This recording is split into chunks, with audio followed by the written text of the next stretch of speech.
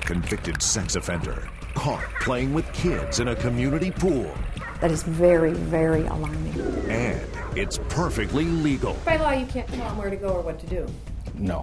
Thursday, the undercover video that set off a bombshell 12 News investigation. Colleen Henry uncovers a huge loophole. It lets more than 10,000 sex offenders near your kids. Why the law you thought was protecting your family can't even stop them. Thursday on 12 News at 10.